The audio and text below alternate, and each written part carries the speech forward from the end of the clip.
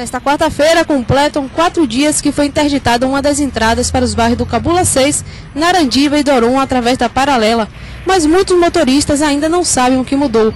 O gerente de trânsito da 7, Renato Araújo, explica. Em virtude da separação desse fluxo de veículos, de quem vem para o centro, não há mais necessidade de ir até o viaduto do Cabe. É, entretanto, os condutores que é, acessam aí o Cabula 6 através da paralela, esses sim continuaram fazendo o mesmo percurso de antes, nove meses atrás. Formam o viaduto do Cabo e retornam livremente, como vem acontecendo diariamente. A alteração que estava prevista no PDDU, Plano Diretor de Desenvolvimento Urbano, tem o objetivo de diminuir os acidentes no local, com as tesouras que os veículos que saíam do retorno do Extra faziam para pegar a entrada que foi interditada. De acordo com o Renato, antes da mudança aconteciam em média três colisões no local por dia em horário de pico.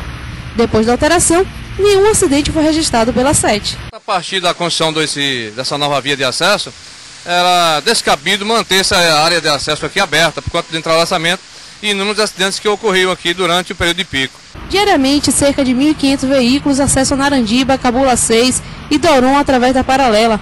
O engenheiro civil João Cedrais, que mora no Cabula 6, é um desses motoristas que trafega por essa pista mais de uma vez por dia para sair e chegar em casa e que foi surpreendido com a mudança, só descobrindo no último minuto.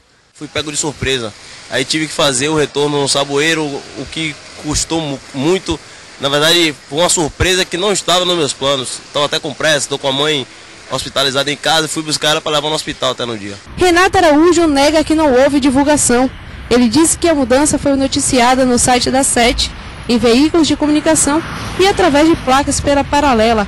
Mesmo assim, motoristas que erram o caminho insistem em continuar no mesmo trajeto e sobem o canteiro da pista para burlar o bloqueio. Em apenas 10 minutos, a reportagem flagrou quatro motoristas realizando esse tipo de imprudência.